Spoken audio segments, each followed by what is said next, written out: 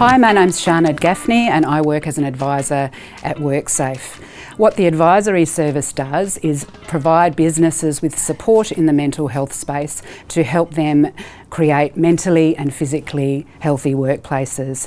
So, what we do is encourage people to look at mental health issues, mental health illness, in the same way as we do physical illness. So, by adopting a risk management approach, what we can do is look at the organisational factors that might harm people's mental health and deal with things before they become an issue. So rather than waiting till after the event until people have become mentally unwell and looking at how to help them, we look at the structures in place that are going to minimise that risk for people.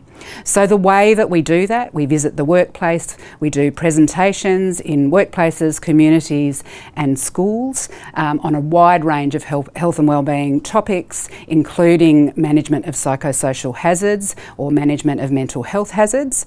Um, and given the recent code of practice introduction that is very relevant post post COVID.